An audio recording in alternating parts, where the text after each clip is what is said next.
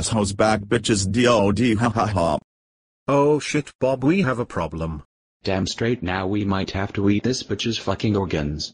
Fuck all of you bitches me and Dandrew grew ourselves some sexy beards. Well we grew some nice humans.